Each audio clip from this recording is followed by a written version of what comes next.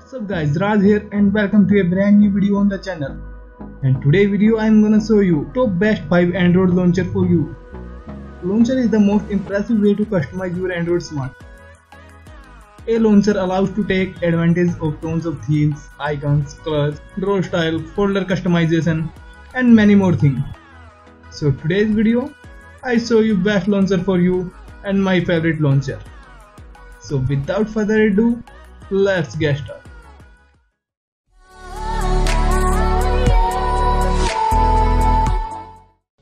So first of all we talk about Hola Launcher.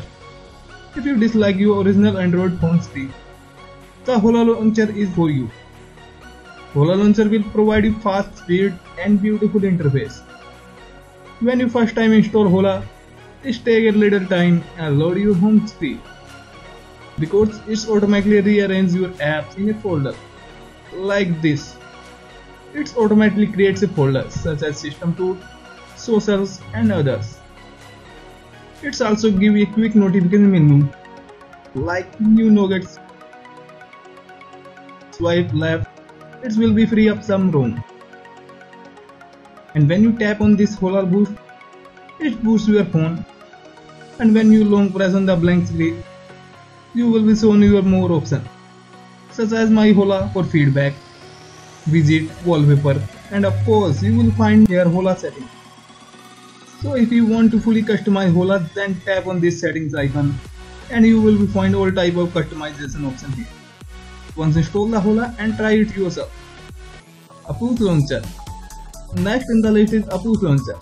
Apus Launcher is one that's provide a wide range of customization options. There has some different features in Apus Launcher such as swipe up to search Apus search, double tap to select a new wallpaper and when you pull this notification bar it shows quick search menu and all apps are rearranged by name and at the top bottom corner you can see application manager simply long press on home screen and it will show you Apus system settings tap on Apus settings and now customize your Apus launcher so at last download and try Apus launcher this is ZenUI launcher the Asus ZenUI launcher was for all Android phones that's running version 4.3 and higher.